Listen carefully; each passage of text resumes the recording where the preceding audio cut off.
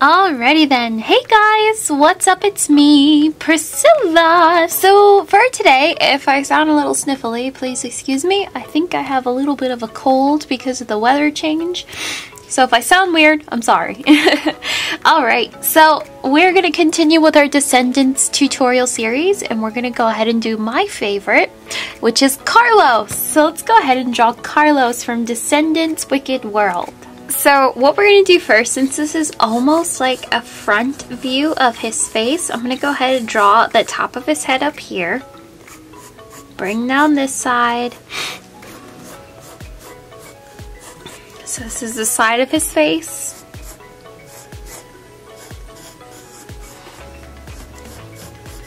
And bring down this side. And I'm kind of cocking his head off to the side just a little bit because his head is just tilted a little bit and define where my eye line's gonna go. And then I wanna go ahead and part the middle of his face. That doesn't mean I'm gonna put my nose like right there. I'm going to bring down his nose just a little bit. Kind of just gonna lay things out where they're supposed to go. So I have one eye right here. It takes a little bit up of the majority of his face and then an eye over here and it takes up this part of the majority of his face. But his eyes are almost a little bit boxy so I'm kind of like flattening out the bottoms. Bringing up the tops. Just kind of want to lay out where his mouth is going to go just in case I need to extend his chin just a little bit more. So I'm to go ahead and just make that top lip line.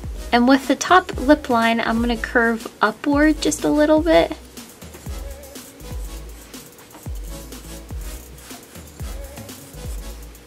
So I'm to go ahead and jump on the top. Kind of make this nice, a little bit thicker on top of that top eyelash line. Bring down this side.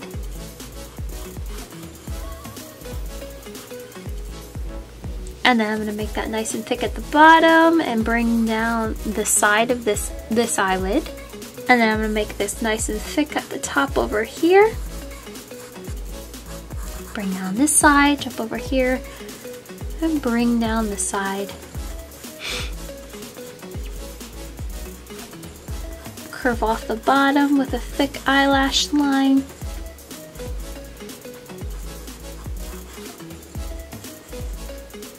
Right, so then I need to go ahead and place his pupils and irises. So I'm going to go ahead and place one pupil iris here and then one pupil iris here. Just make sure that the same size. I always struggle with this, just trying to make the eyes look more equal. Even if this is a full frontal view, there's still some things that are a bit different, but you just never know. So I'm going to put a shine right here and then a shine right here in his eye and then I'm going to jump in, give him that pupil Jump over here, give him his pupil as well.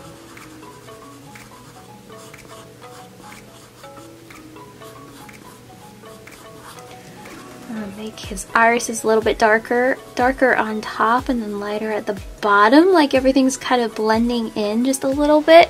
And he has green eyes.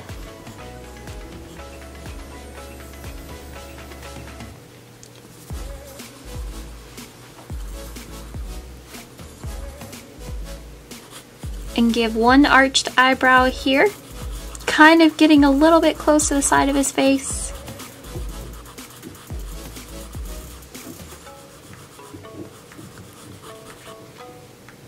And then I'm going to jump over here, arched eyebrow, getting a little close to the side of his face.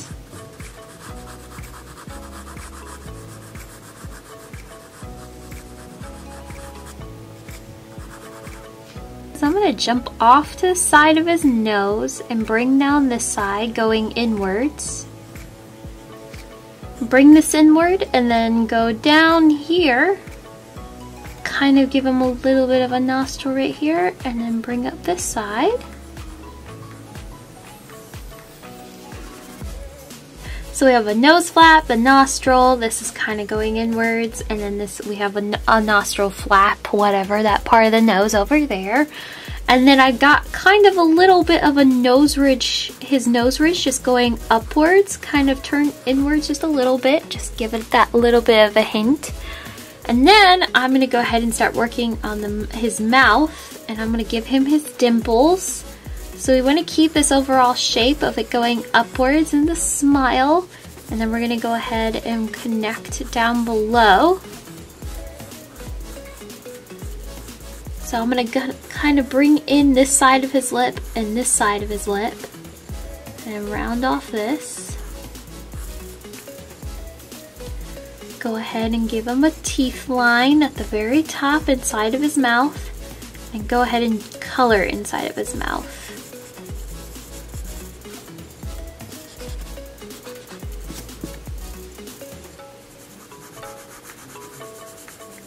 And I'm going to jump down at his lower lip and kind of line that lower half. shape up his face a little bit more so he has a little bit sharper cheekbones and then a more squarish looking chin. So I'm going to go ahead and square that off and sharpen his cheekbones just a little bit off to the side. Alright, so I'd like to go ahead and give him his ears at least. So we're going to go off to the side of one eye, give him one ear here, and then jump over here and give him his ear as well. Now the one thing that we need to do is we need to go back. I still kept a little bit of my, my imaginary middle line. I'm going to go ahead and give him a widow's peak. So this is the part to his hair. So I'm going to go ahead and square off his hairline. So I'm going to go up, over, and bring this down. Up, over, bring it down. Go ahead and cap the height where I think it needs to go. So I'm to go about that high because I don't want to go too crazy with his hair. So I'm to say it needs to be about this high. And I'm just going to draw an imaginary line showing where I need all my spikes to be on Carlos's head. So I'm just going to bring this down, just kind of like mirroring where it's going to be. And it's going to go kind of in front of his ears. So we just don't get too carried away. All right, so the first thing I want to do is I'm going to start in the middle with that middle spike. And I'm gonna go out with this spike right here and then this spike's gonna come down. So I got a big spike here and then one's coming down into his face and then one's kind of jumping over in front of this hairline over here.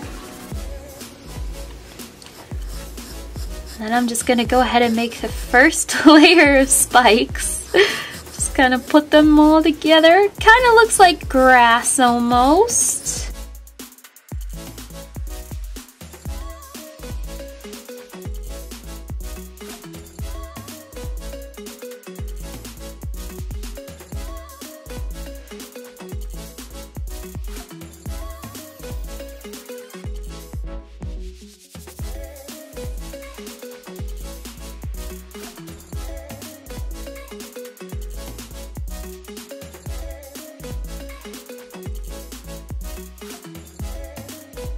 Alright, the main thing that's going to make Carlos Carlos's hair is to make his roots at the bottom of his hair nice and dark because he has white, like the top of his hair is white, but the roots are super black. So we're to go around and just kind of line our first layer of spikes as much as we can.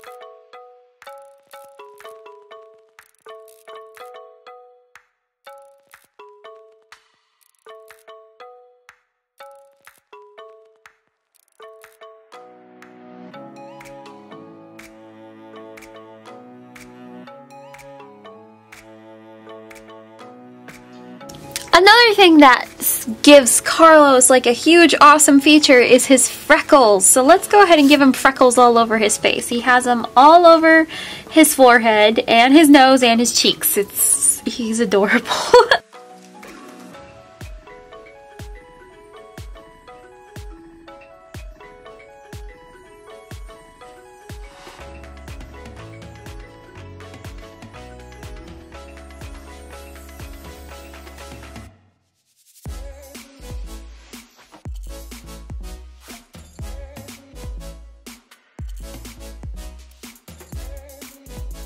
And then what I like to do is I do want to go ahead and give him some lines in his ears. I'm going to go ahead and give him his earlobes. Bring down his neck. So I'm going to go on each side of his chin. And remember how I said his head's a little bit tilted to the side. So that's where we're going to crink one side of his neck and make this side a little bit more straighter.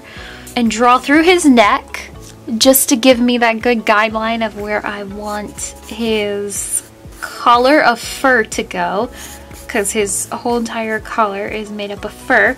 So I'm going to make a line here at the side of his neck and then I'm going to make a line over here at the side of his neck.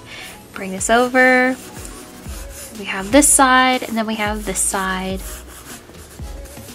And kind of to kind of give it a little bit of a furry touch, I'm just going to make like these little squiggly lines and I can kind of make that a little furry too. So I'm going to go ahead, give him a neckline to his t-shirt. There. Then I'm going to go ahead and bring down this part of his jacket, which looks kind of like a vest, but it's not. So I'm going to bring down this jacket, and then we have his sleeve, which is red. So we have this part of his jacket, bring it down, bring down this side. This goes off to the side and then down, and then we have another sleeve to his jacket. And then I'm to go ahead make a lapel of the jacket over here. Make the lapel of the jacket here. Make a zipper on this side and then a zipper on this side. Here everything's flowing with each other. And then we have a piece of this jean jacket going off to this side and the same over here, bring it over off to the side. We have one zipper that's kind of random, but going up that vest part. And then we have another random zipper that's over here. Go ahead, I'm going to draw like the end to the zipper and the zipper here, and then it goes like that, and then this goes like this. All the random zippers. Now the only thing about his outfit is this whole side is black. His t-shirt's black, but his sleeves are red, and this side is white.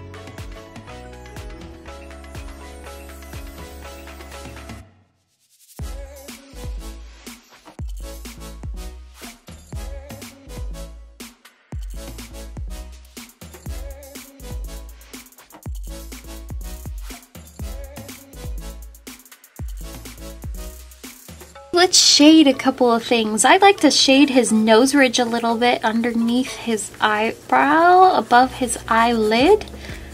Kind of shade over here too, same place. And a little bit off to the side, just giving him a little bit of color of rosy cheeks.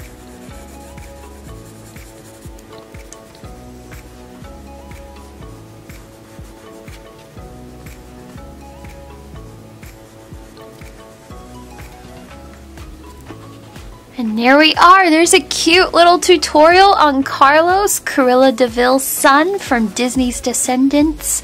Wicked World. He's probably my favorite of the main four, but Harry Hook is definitely my favorite. but yes, guys, leave in the comments down below if you want to go ahead and draw Jay or if you want to move on to something else. I hope you all have a most wonderful day, and I will see you all later.